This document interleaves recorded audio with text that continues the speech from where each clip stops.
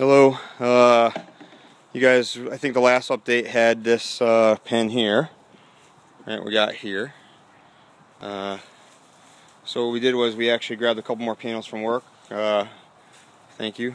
And uh, opened it up a little bit. You can see it goes down now. Um, so you can look and see opens it way down around the back. Not that far down, but every little panel helps here.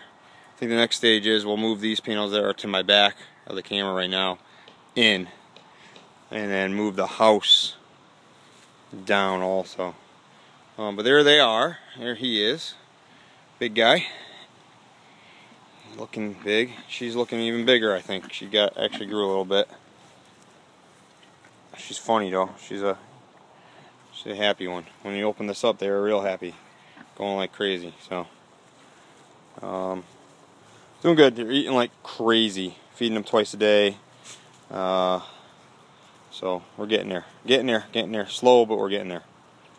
Um, they'll they'll dig this area up. I bet you in a day, day maybe day and a half. Hopefully they'll dig around some of these trees. I want to see how they do with the roots. So. All right. Well, uh, thank you, and uh, keep you posted. Bye now.